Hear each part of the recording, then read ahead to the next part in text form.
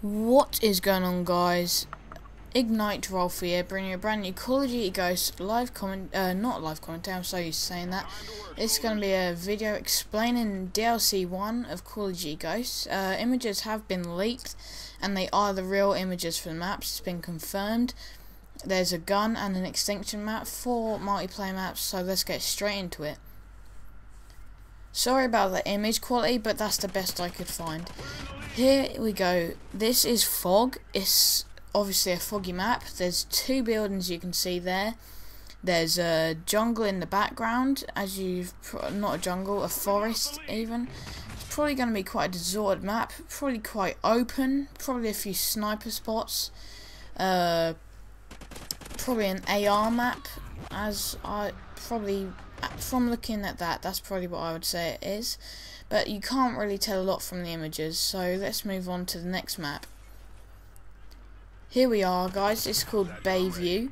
This is a Chinese looking sort of map. It looks like it's on a harbour or a pier. Uh, if it's on a pier, that would be awesome. There's a lighthouse there. I don't know if you'll be able to access that. If you can, that would be an amazing sniper spot. Other than that, looks like close, quite close quarters and places to pop out from. So that's about it from that image. And here is ignition. This looks like quite a uh, quite a a long a long hallway, but I reckon you'll be able to like sneak around in the out in the outside of the map. Uh, get a few cool shots. It'll be probably quite close. I'd I think. Um, I don't know, you can't really tell from these images, but as soon as there's a trailer, I'll hopefully share that with you guys. And now we have containment. This looks a bit like, I can't remember what the map is from MW3, but it looks like one of the maps from MW3. uh, it's, it looks like there's a town hall there, quite close combat. Um, so this map pack really does look quite close combat, except from the fog map you never know, loads of stuff could happen.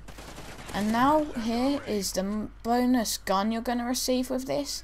It's a Maverick AR and sniper rifle. So this is from AR, it's obviously an assault rifle and a sniper rifle, so you never know what that could be like. Hopefully it's going to be fun to use, enjoyable at least, and let's move on to the extinction map.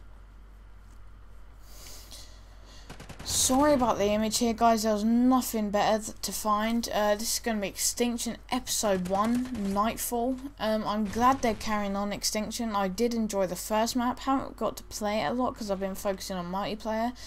Um, but yeah, I'm definitely looking forward to this. And make sure you're here to see the content on the first day of the map pack, which is 28th of